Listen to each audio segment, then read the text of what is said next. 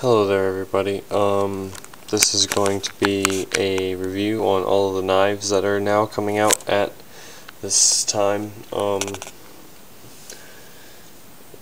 holiday season 2012. You got the Tachyon, you got the new Blade Runners, Alpha Beast, um, Tachyon 2 that is.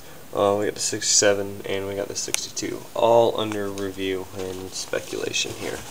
I'm going to try to cover all of the aspects I can of these knives that I can and try to give you guys the best input on what I think of the knives as far as collectability and flippability and just overall general quality of the knives here. And um, I'm just going to go ahead and present you the knives, show you how they are uh, all packaged here. Obviously, Benchmades, they all come in their pouches here. Your boxes and paper with them all.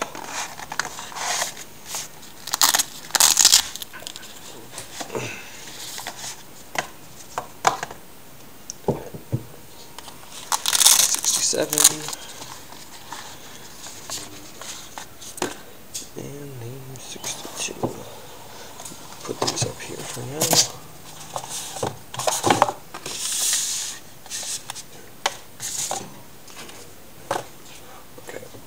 So, let's go ahead and open these guys up.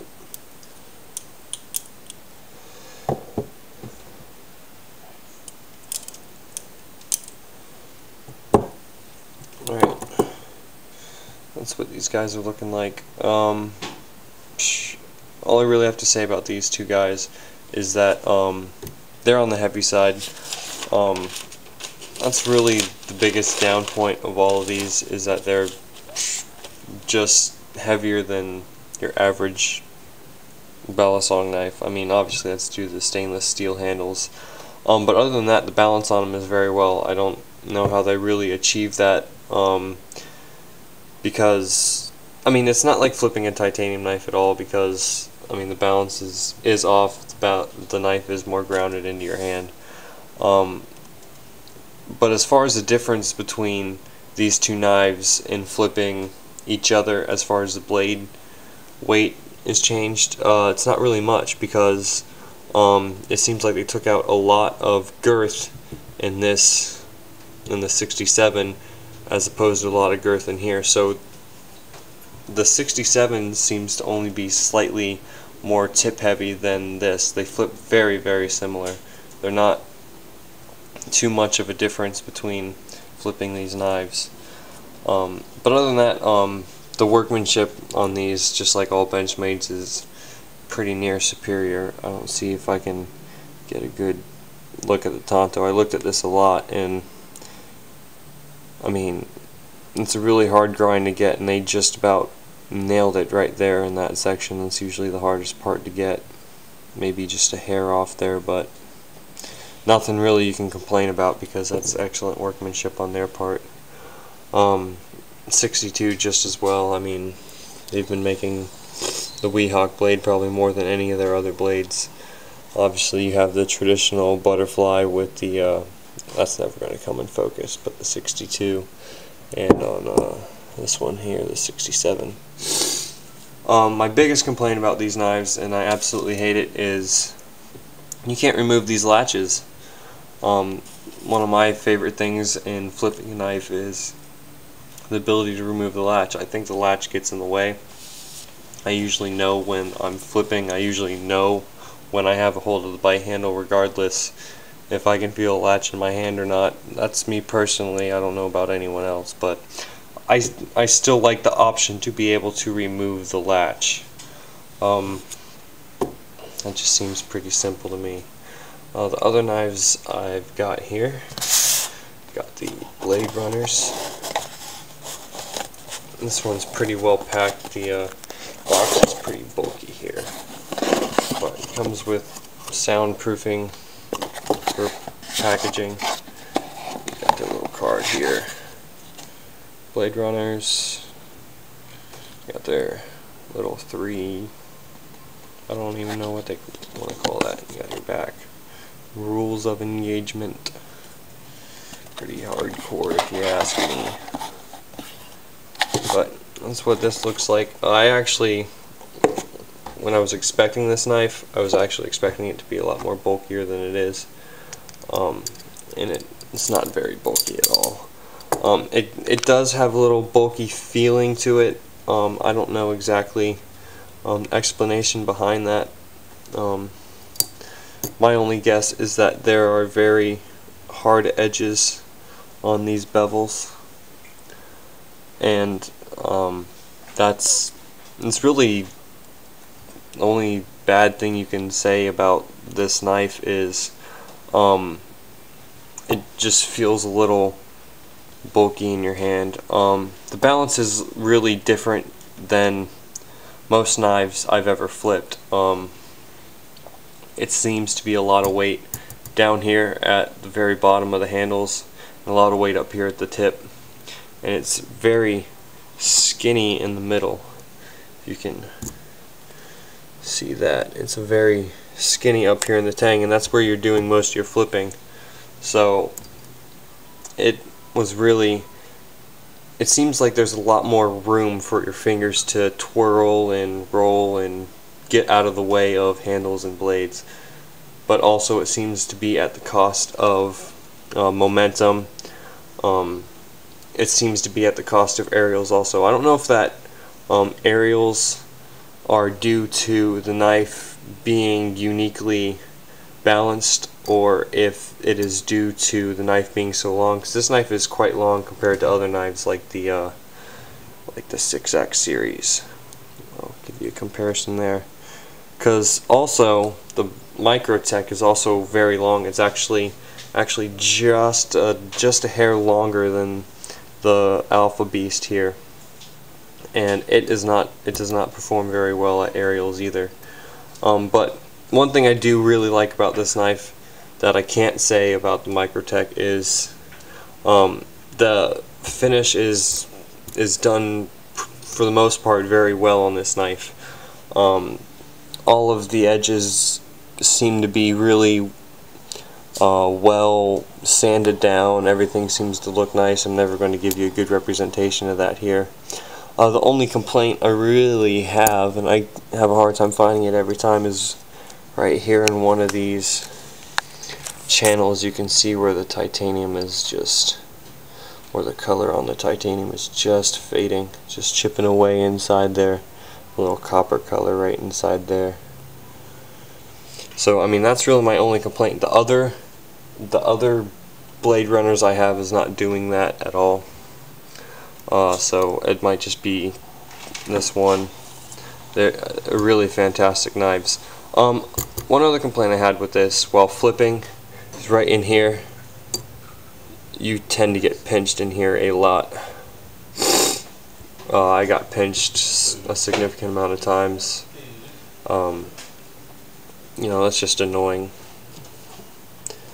Uh, oh another thing is down here seem to have torque pins or torque screws Torx screws and up here in the uh, the tang pins not the tang pins um, the pivot pins we have uh, hex heads in here which I found very odd. We have hex in both of the um, both of the blade runners at the pivots which caught me by surprise. Maybe that's the whole warranty thing that everyone's been doing with their knives lately I don't I void my warranties all the time so Alright, um, with that being said, I'm going to move on to the Microtech here. Microtech is a little more, a little harder to get out of the box. Let me go ahead and set this down for a second. Sorry, my battery kind of died there. Perfect timing though. Good spot to uh, ahead and start over. So, this is what a Microtech is looking like when you pull out of the package. It's got this plastic wrap over these bags. I always love these bags. I like when I get these bags. I get them from Benchmade every once in a while. These Microtech ones look even better in my opinion. They're not as well padded, but I really like the look of them.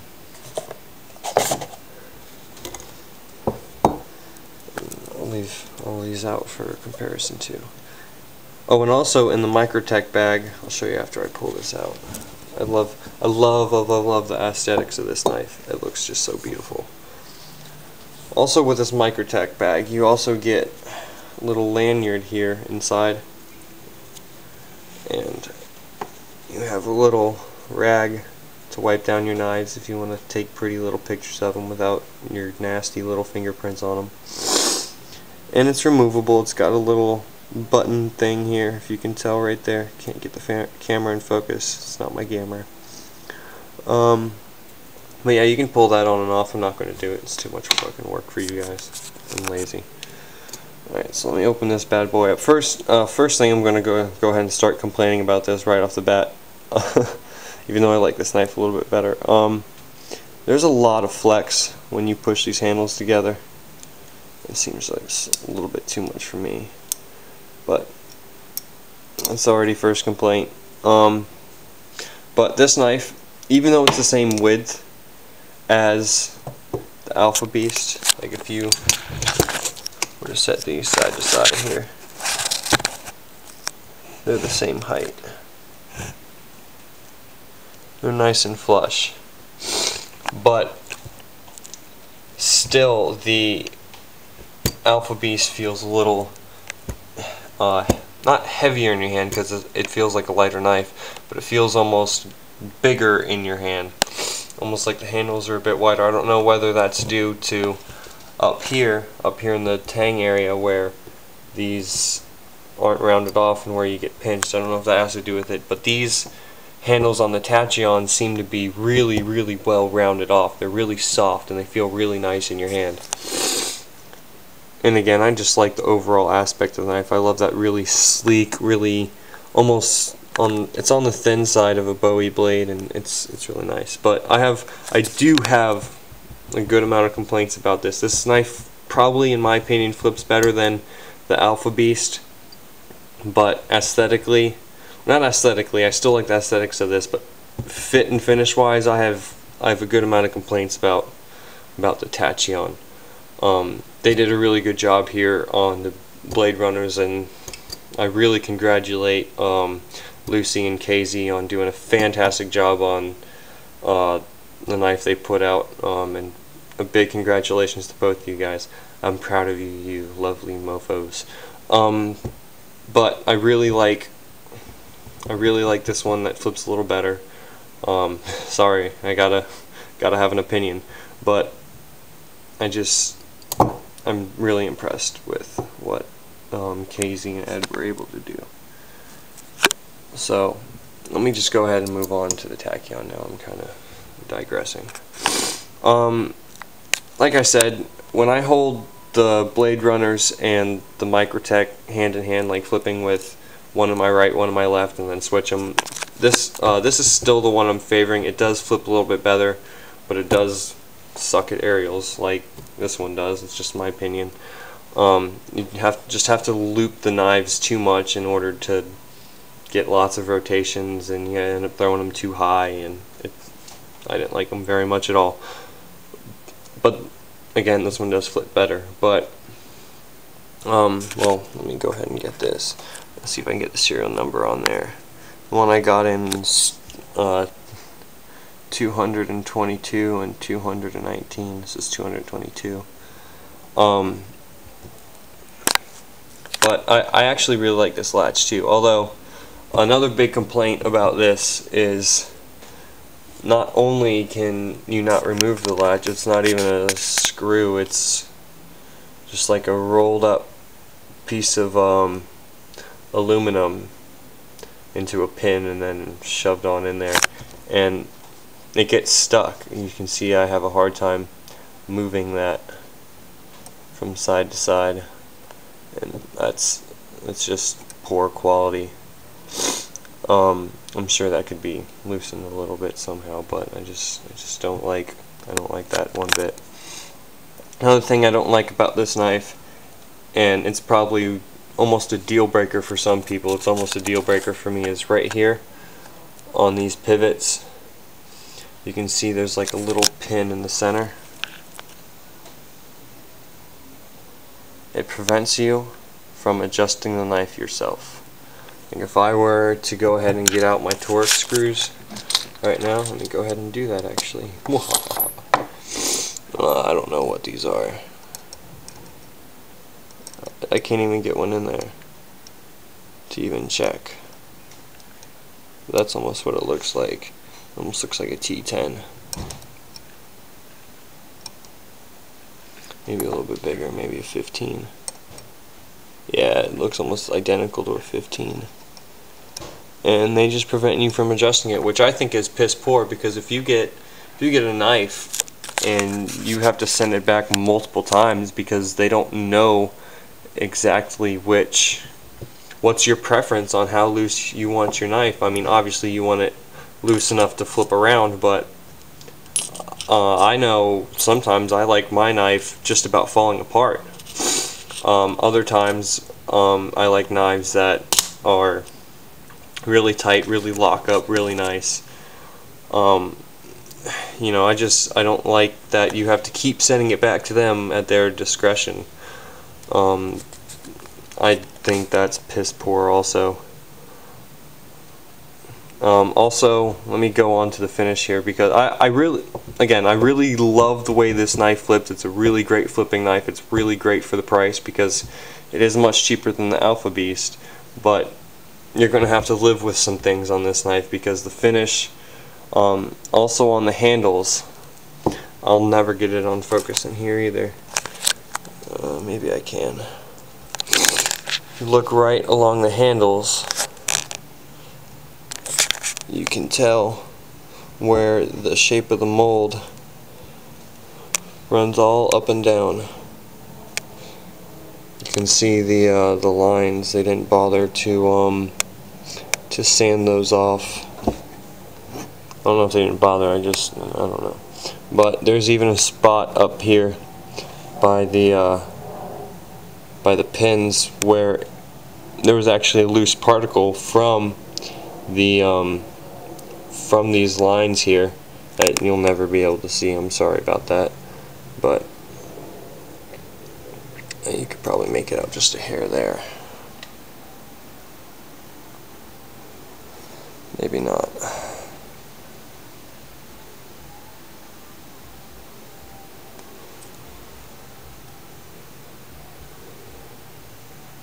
Alright, I need to get going.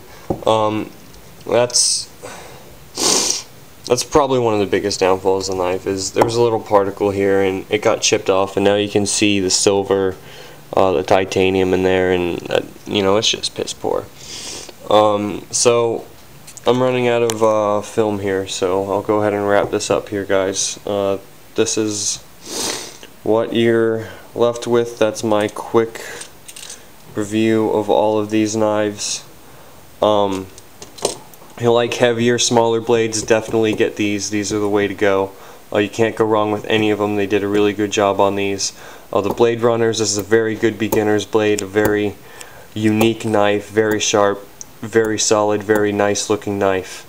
Uh, this one here flips um, phenomenally, um, but has very bad aesthetic issues. Take care, guys.